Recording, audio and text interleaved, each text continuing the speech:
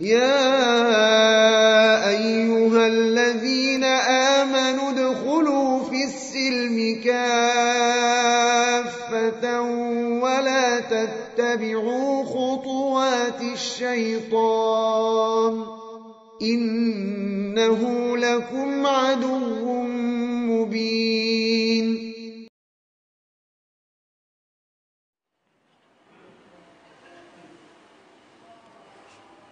Alhamdulillah salatu wassalamu ala Rasulillah wala haula wala quwata illa billah. Saya punya tetangga sudah cerai talak tiga lebih dari satu tahun dan sekarang dia hamil oleh mantan suaminya dan oleh orang tuanya. Mereka dinikahkan bagaimana yang seperti ini Ustaz? Dan bagaimana sikap kita dalam menggauli keluarga mereka sehari-hari dalam berinteraksi? Kalau sudah talak tiga, nggak boleh balik lagi. Kecuali wanita ini menikah dengan laki-laki lain ya kemudian dia digauli oleh suaminya yang baru. Baru dia boleh nikah. Maka jangan dinikahkan dengan suaminya meskipun dia yang menghamilinya. Kalau dia menghamilinya tentu maka ini adalah zina dan dalam hukum Islam dalam, dalam pendapat yang lebih kuat, wanita yang hamil karena zina itu jangan dinikahkan sampai dia melahirkan.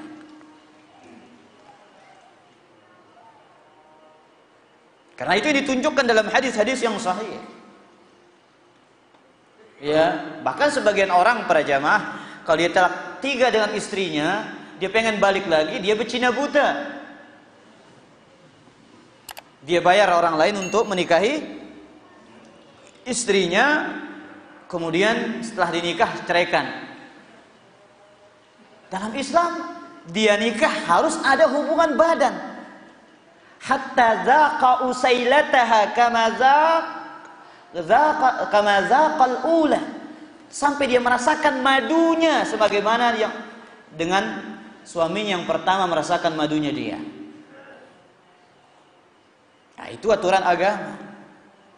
Maka seperti ini, ini pentingnya makanya ikhwatal iman dalam bab itu dijelaskan tentang hukum talak, hukum rujuk, hukum khulu. Ini pembagiannya, ini pembahasan yang penting dalam rumah tangga. Karena akan ada masalah-masalah seperti ini. Ya, manakala tidak ada ilmunya, ya ini yang terjadi. Maka dia harus diceraikan ini ikhwatal iman, jangan dinikahkan. Allah taala Bagaimana dengan berinteraksi dengan keluarganya? Keluarganya dia nggak ada masalah berinteraksi. Kalau dia ini ya kasih hukuman, dihajar sampai dia bertau bertaubat kepada Allah Subhanahu wa taala, diboikot.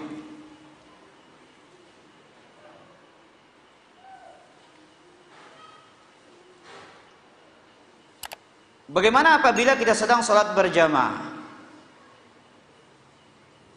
Kemudian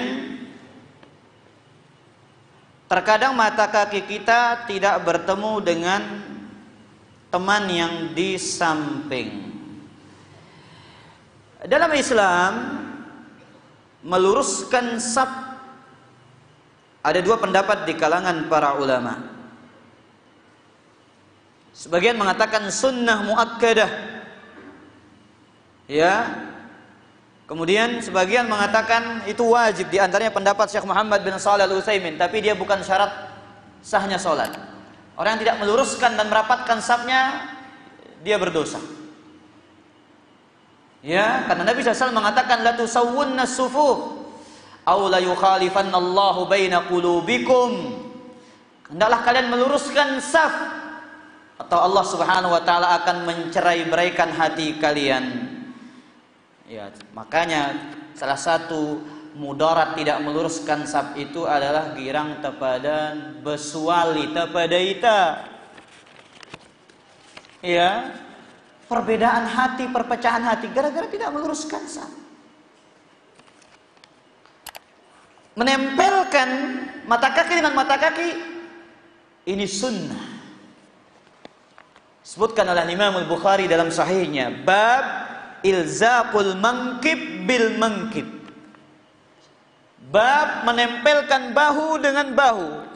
Kemudian beliau mengatakan ya babu ilzaqul mangkib bil mangkib wal qadam bil qadam fi kaki dengan kaki ditempelkan pundak dengan pundak ditempelkan kemudian menukilkan riwayat Nu'man bin Bashir raaitu rajul minna yulziku ka'bahu bi ka'bi sahibihi aku melihat salah satu di antara kami saling menempelkan mata kaki dengan mati, mata kaki saudaranya yang lain itu rapatnya sah.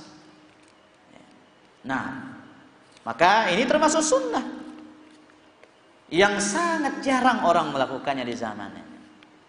Sangat jarang. Ya kebanyakan saf itu ya jaraknya segini. Segini, segini. Bahkan kita sendiri jarang melapatkan apa? Antara kaki-kaki kita dan mata kaki kita. Allah taala ala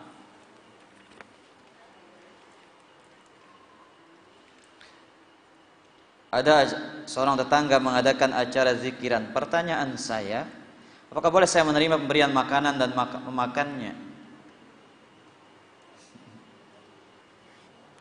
Apakah acara zikiran itu termasuk bidah?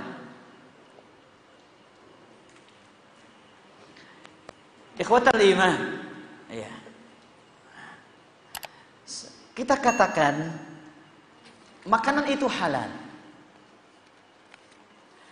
Tapi kalau dari acara yang tidak ada sunnahnya, emang ada khilaf di kalangan fatwa para ulama kita dan di ustadz kita yang mengatakan boleh dimakan. Tapi kalau guru kami Syekh Abdul Musin Al-Abbad ketika ditanya tentang fatwa makan dari makanan maulid, ini acara bidah, beliau tinggalkan. Kenapa? Masa kita meyakini itu maulid, kemudian kita mengambil makanan makanannya. Nah, kalau zikiran Ya, zikir itu nggak harus berjamaah.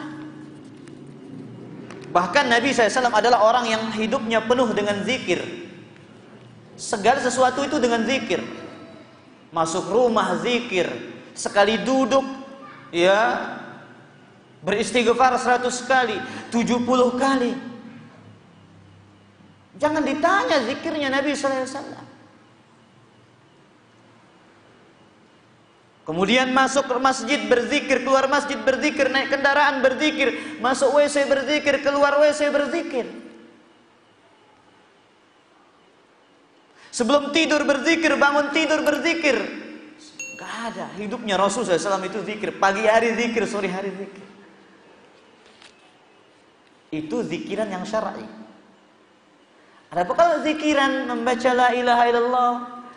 Ya, kemudian dengan ada acara-acara tertentu maka ini butuh kepada dalil kalau tidak ada dalilnya jangan dilakukan nah kalau dilakukan secara terus menerus maka ini adalah perkara bid'ah wallahu taala ala di sini ada pertanyaan bagaimana hukumnya menjadi babysitter atau mengasuh anak PSK. Para ulama memfatwakan kalau seluruh hartanya itu dari hasil PSK-nya nggak pantas orang bekerja sama dia.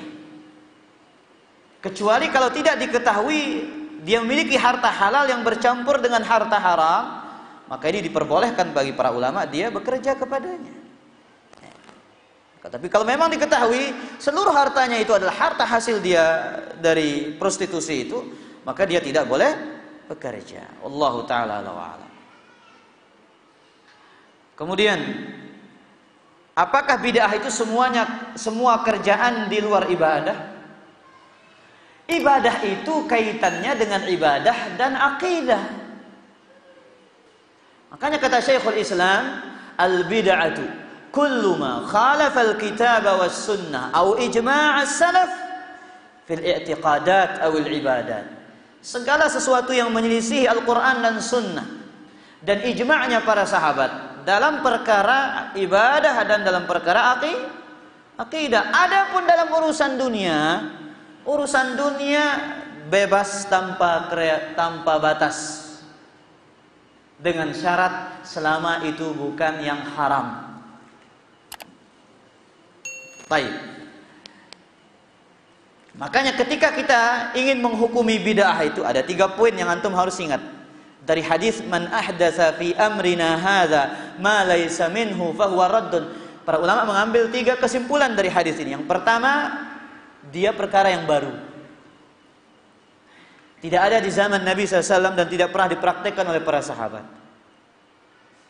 Yang kedua, nah, dinisbatkan kepada agama. Yang ketiga, malaysa minhu, tidak ada dalilnya. Fahuwa raddun, maka barulah dia dihukumi bid bidah. Taib.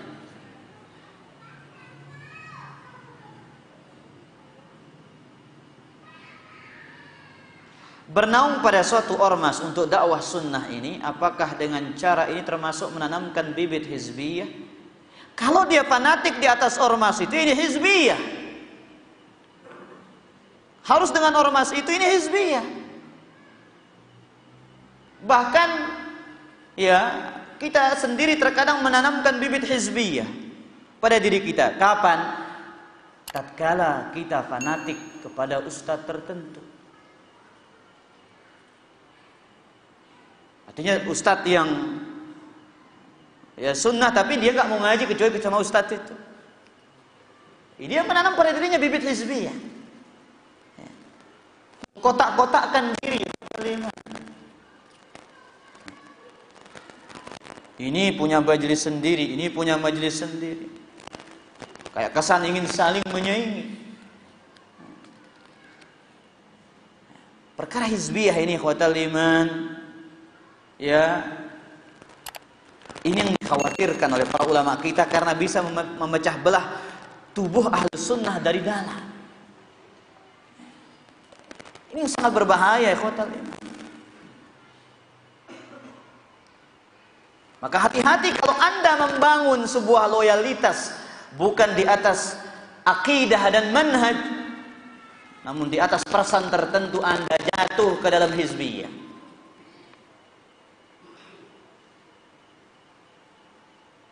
Dan ini tercela.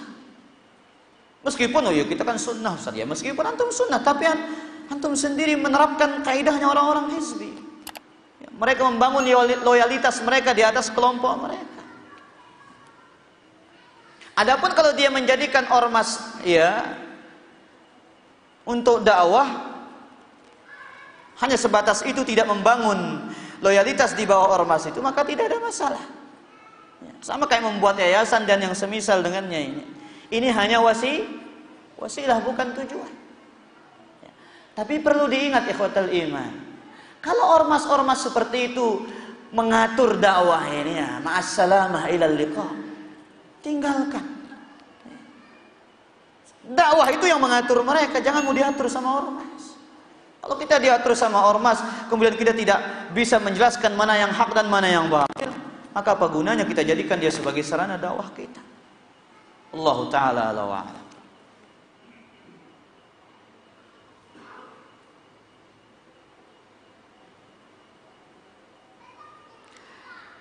Apakah kotoran kucing itu najis? Najis. Karena dia hewan yang haram dimakan. Hewan yang haram dimakan kotorannya najis. Allahu a'lam. Apa zikir doa yang disunnahkan selesai sholat? Banyak. Banyak sekali. Beli buku Ustaz kita, Ustaz Yazid. Itu ada judulnya apa? Ya. Zikir dan doa. Ya beli itu baca ya antum hafal dari cover ke cover. Di situ banyak zikir-zikir yang diajarkan oleh Nabi sallallahu alaihi wasallam.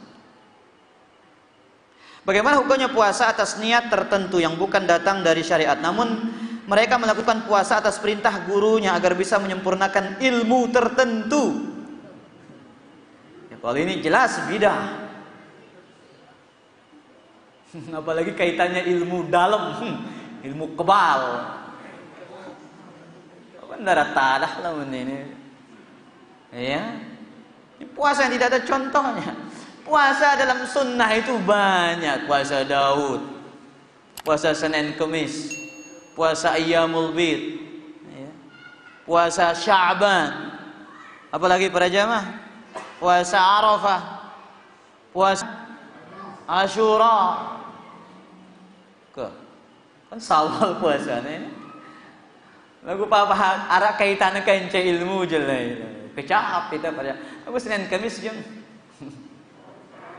Kumbena arah embel-embel soalnya. Biar ilmunya semakin mantap. Mandi ilmu dalamnya. Lalu tiba ay bertapa. Puasa nggak makan.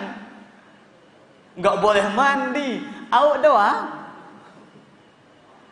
Tapi yang ada dalilnya, tidak milih awak berjamaah ini. Kan berat kita ini. Eh, Allah Ta'ala ala wa. Apakah sampai 40 hari batas nifas? Iya, itu batasan maksimal kata para ulama. Sebagaimana dalam hadis yang sahih, kalau kurang ya mandi, ya bersuci. Wallahu taala alam. Bagaimana hukum mengucapkan amin jika bacaan imam belum fasih?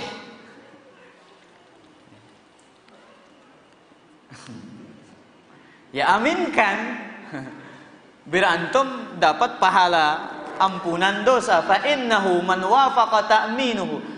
Ta'min al malaikati ghufira lahu ma taqaddama min dzambi barang siapa yang aminnya samaan dengan aminnya malaikat maka akan diampuni dosa-dosa yang telah lalu. Antum mengaminkan mengamalkan sunnah bukan sebab iman. Ya, kalau kalau ada imam yang lain ya ganti. Jangan imam yang belum fasih karena kayak imam itu akra'uhum li kitabillah, orang yang paling fasih Al-Qur'annya. Ya. Oh, makanya belajar, imam itu harus belajar. Belajar fikih salat. Samping belajar bacaan Al-Qur'an. Oh, bacaannya bagus, tapi salatnya nggak benar. Ya, belum bisa juga. Makanya banyak pertanyaan para jam. Bahkan katanya ada salat dia salam pada rakaat ketiga, salat Isya. Kemudian diulang sholatnya dari awal. Nah ini karena nggak paham dalil. Coba kalau dia ngaji, tinggal tambah satu rakaat, sempurnakan sholatnya, sujud sahwi dua kali selesai salam, selesai. Tapi karena dia tidak tahu dalil, tidak tahu ilmunya, sehingga apa? Ulang sholat dari awal kan tambah ribet. Taib, wallahu a'lam. Apakah ada dalilnya ketika selesai membaca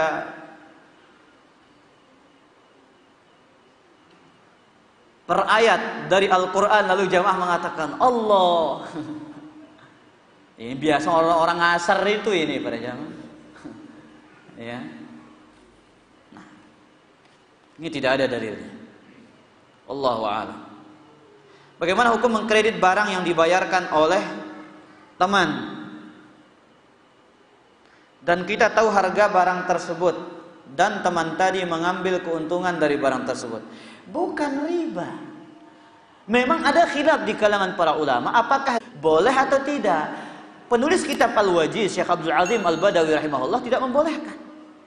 Tapi sebagian besar mayoritas para ulama membolehkan. Ya. Kenapa tidak ada larangan di situ? Itu bukan riba.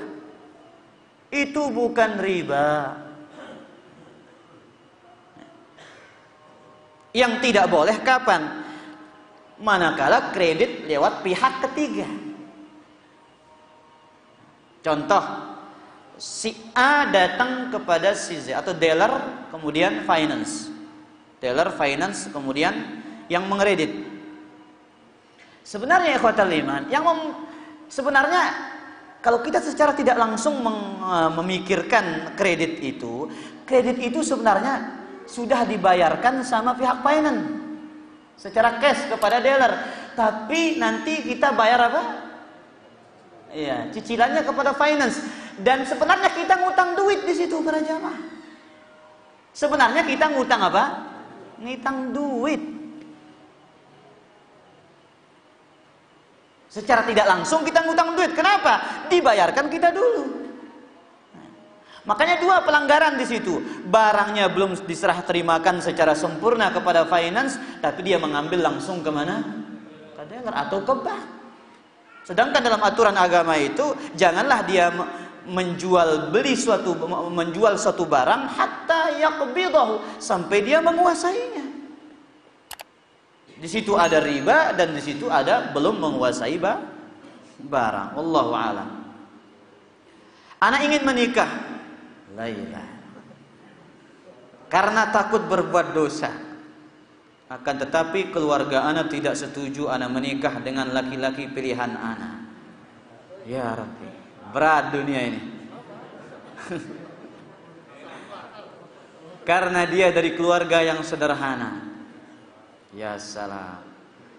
Percin, uh, pertanyaan anak, apa yang harus anak lakukan dalam kondisi seperti ini? Dia aja bingung apalagi kita. Tapi para jamaah, uh, ini ujian bagi orang-orang yang ingin menyempurnakan agamanya. Terkadang cinta itu diuji. Ingin melakukan sunnah itu diuji seperti. Maka tugas anti yang punya pertanyaan seperti ini Ya, yang pertama ketuklah pintu langit itu dengan berdoa kepada Allah. Agar Allah membolak-balikkan hati orang tua anti sehingga dia menerima. Dengan doa itu gak ada yang mustahil. Kalau Allah berkehendak kun fayakun. Jadi maka jadilah. Dan yang kedua, Masyarakat kita belum difahamkan tentang urusan mahar. Ya, karena kajian-kajian tuang guru kita ini sebenarnya harus di masyarakat itu lebih digiatkan oleh dai-dai ini tentang kitabun nikah ini bagaimana mahar itu, bagaimana aturan mahar dalam Islam, bagaimana nikah yang sesuai dengan sunnah. Itu harus diajarkan kepada masyarakat kita agar mereka tahu maharnya Rasulullah itu bagaimana? Kemudian Nabi merintahkan khairun nikah aisaruhu. Ya sebaik-baik nikah itu adalah yang paling mudah maharnya. Makanya kalau antum datang melamar wanita kemudian antum mau ditolak mau ngasih apa makan anak saya? Tanyakan kepada orang tuanya anak anda makan apa pak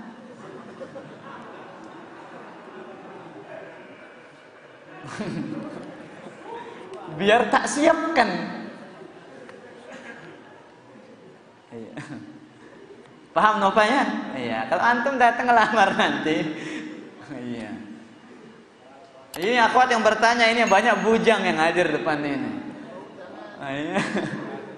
Insya Allah siap ini. Iya. Tinggal dimainkan. Maka begitu tanya kepada orang tuanya Iya. Mau dikasih makan apa anak anda pak? Iya. Insya Allah saya siap. Begitu para jamaah. Kalau mamakan Islam itu tidak memberatkan. Yang nggak mampu mahar banyak diperintahkan oleh mudah dalam mahar. Iya. Yang mampu bayar banyak silahkan bayar banyak, gak ada masalah. Ya, Nabi kita maharnya kepada istri-istrinya itu totalnya berapa? 400 ya. 400 berapa? Dirham. Ya, sekitar satu kilo lebih gram perak. Nah, satu kilo itu nggak satu kilo lah. Kita bulatkan. Harga perak berapa? Hah? Nah, kalikan itu sudah. Itu maharnya Nabi sallallahu alaihi wasallam kepada istri beliau sallallahu alaihi wasallam. Taib. Maka antun nas anti sabar, kemudian banyak berdoa kepada Allah Subhanahu wa taala. Tapi pertanyaan terakhir, Anda pernah mendengar seorang tokoh agama di kampung bahwa para sahabat tidak pernah meninggalkan Rasulullah setelah saat berjamaah. Dan kenapa kamu meninggalkan imam sebelum selesai zikir dan doa? Dan hanya diam Ustaz. Nabi bukan uh, Nabi SAW pernah meninggalkan para sahabat keluar langsung ke kamar ke kamarnya. Ya. Nah, ini sebenarnya ikhwatul iman. Ini terjadi kenapa? Ini terkadang kesalahan kita. Selesai sholat itu duduk zikir meskipun mereka zikir berjamaah. Jangan langsung assalamualaikum assalamualaikum balik enggak zikir berjamaah urusan dia zikirnya dia. Makanya kita perlu belajar fikih ini berjamaah. Fikih dakwah ini. Jangan sehingga dikira kita ini nggak suka zikir begitu nanti. Maka kami ingat nasihat guru kami Al Ustaz Al Fadil Waliduna, guru kita Ustaz Mu'ti Hafizahullah taala. Beliau bercerita di satu tempat ya. Ketika ada seorang ikhwan, ya memang ikhwan ini Assalamualaikum Assalamualaikum lengkap dengan sugul. Ya, karena apa zikir berjamaah. Akhirnya tokoh uh, agama yang ada di tempat itu bikin hadis man laisa lahu wirdun fahuwa kirdun katanya. Yang gak punya wirid dia itu godek katanya.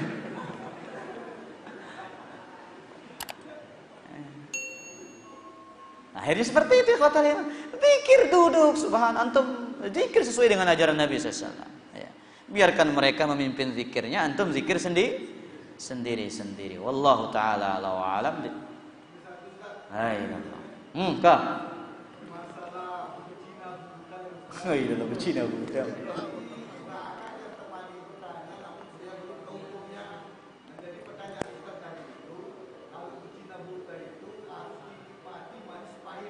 La ilaha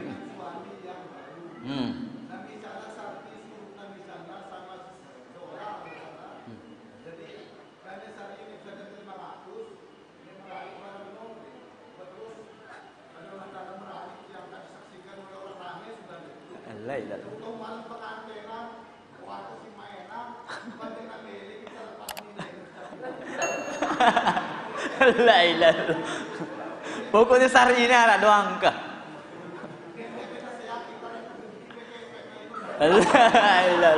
Hmm.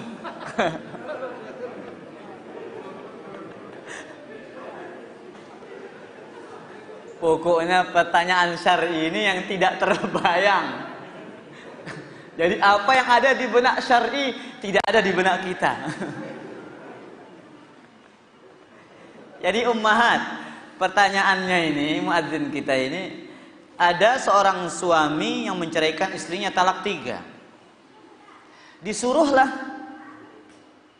syar'i misalkan katanya becina buta menikah dengan mantan istrinya tadi dibayar 500 ribu Iya. Akhirnya nikah disaksikan digaulilah wanita tersebut.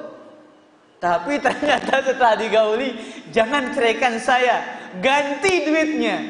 Ya salah. Ternyata cinta kedua syar'i. Ya.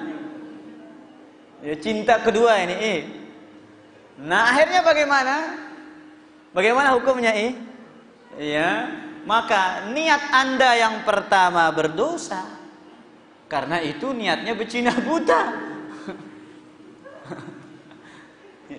Salah karena itu nikah yang tidak sah.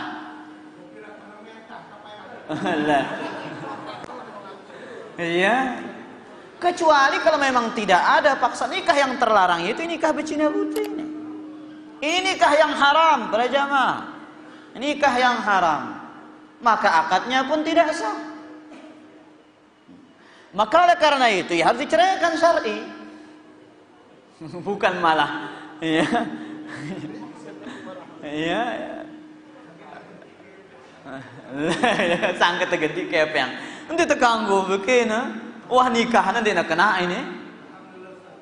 Jelas ini. Ya. Jangan dimainkan lagi. Harus diceraikan. Allah taala ala alam sallallahu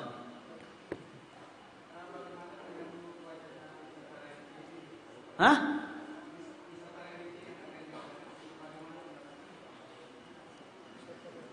Wisata religi dan Islam itu ada. Cuman ketiga masjid. La tushaddur rihal illa ila salasati masajid kata Nabi SAW. Tidak boleh bepergian musafir ke suatu tempat melainkan dengan tujuan tiga masjid. Masjidil Aqsa, kemudian Masjidil Nabawi dan Masjidil Tiga itu saja wisata religi. Yang lain gak ada. Ya, maka barang siapa yang melakukan wisata religi ke tempat yang tidak ada dalilnya ini jatuh dua pilihan, syirik atau melakukan bidah antara itu. Allah taala wa alam sallallahu ala nabiyina Muhammad